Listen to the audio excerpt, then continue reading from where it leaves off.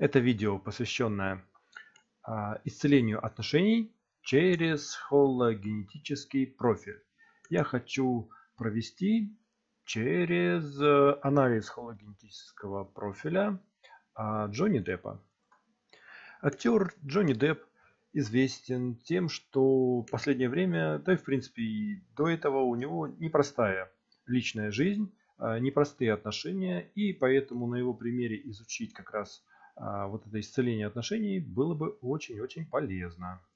Для того, чтобы а, заняться отношениями, в, во всем хологенетическом профиле у нас есть так, называемый, так называемая последовательность Венеры. Она как раз у нас отвечает за образование отношений и их поддержание. Последовательность отношений выглядит таким образом. А, начинается она у нас с цели. И дальше мы пройдемся по ней быстренько все, а, значит, посмотрим, как это все трансформируется, через что проходит этот человек. Начинаются отношения с того, что называется сфера цель отношений. То есть для чего человеку вообще отношения. И здесь у нас 47-й генный ключ и его тень угнетенность. То есть э, человек чувствует себя угнетенным э, в состоянии одиночества. И для этого он ищет себе отношения. Для этого он входит в отношения. Через что он входит? Линия э, четвертая. Невежество, воспитание. Невежество в теневом состоянии, воспитание в, скажем так, более высоком. Получается у нас невежество питает угнетенность, да, состояние невежества питает угнетенность. И в этом состоянии человек, э, ну, соответственно, э, если пребывает вот в тени вот этих вот отношений, то в теневом состоянии, вот состоянии угнетенности, он привлекает к себе партнеров, ну вот что называется, какова цель, таков, и партнер. Для какой цели притянул, если в состоянии угнетенности притянул партнера, ну, соответственно, у нас раз такая цель, то и будет, будут такие отношения, а, построенные на угнетении, на взаимном угнетении. Вот. И все это идет через невежество. Вот. То есть через невежественное обращение, через э, невежественное значит, э, ну, взаимодействие. А в состоянии дара, если человек выходит из состояния дара, происходит осмысление – то есть для чего нам отношения нужны? Для осмысления чего-либо. И когда мы находимся в таком состоянии, в состоянии дара, в осмыслении, то э, у нас уже на более высоком уровне у нас проявляется некое внутреннее такое воспитание. То есть э, воспитание через осмысление. И, соответственно, э, в данном состоянии уже совсем другие партнеры, и даже с этим партнером совсем другие, ну, другая цель, другие процессы происходят.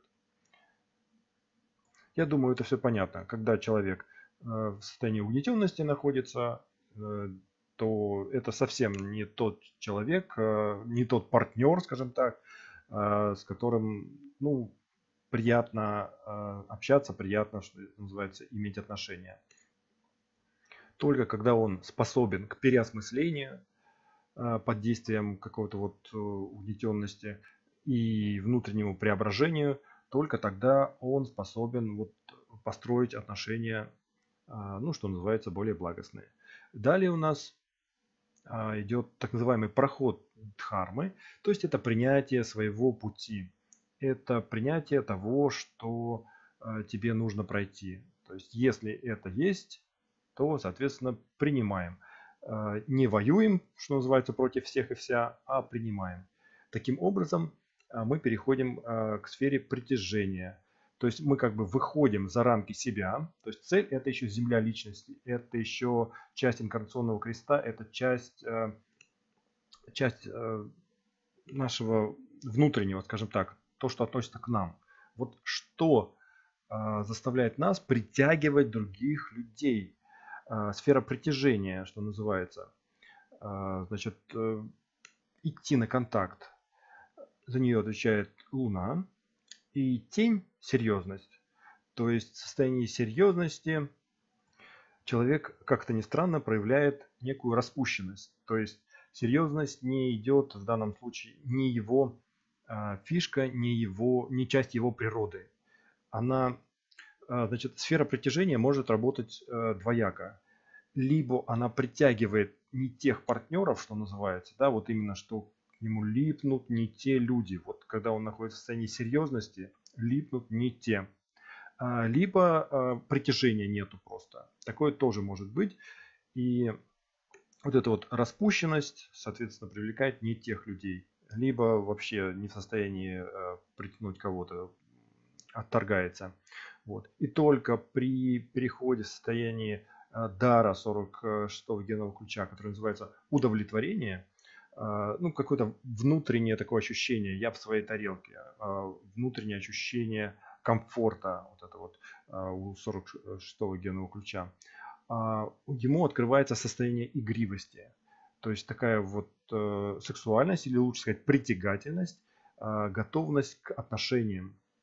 Только в таком случае он а, притягателен и именно притягивает, что называется, подходящих людей, которые находятся, ну, что называется, на высоких вибрациях. То есть э, внутреннее состояние гармонии, комфорта очень важно для того, чтобы вот притягивать.